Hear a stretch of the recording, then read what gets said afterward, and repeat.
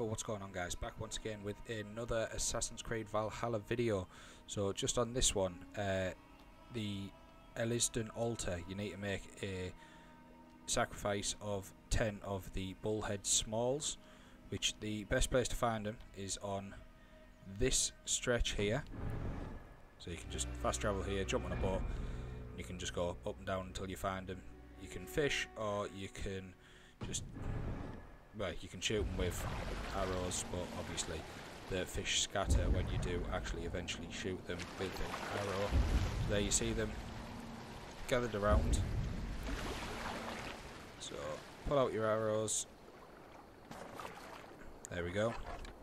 All you have to do is collect 10 of them. That is my 10th one.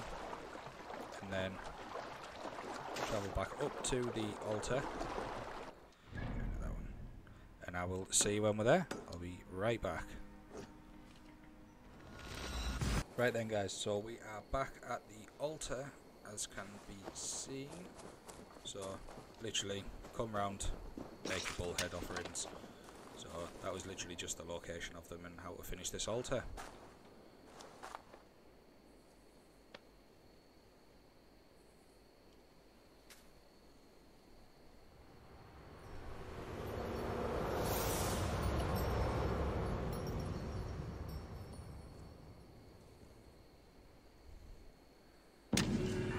go. Elisdon altar complete. Right, and I'll see you in the next one. Bye bye.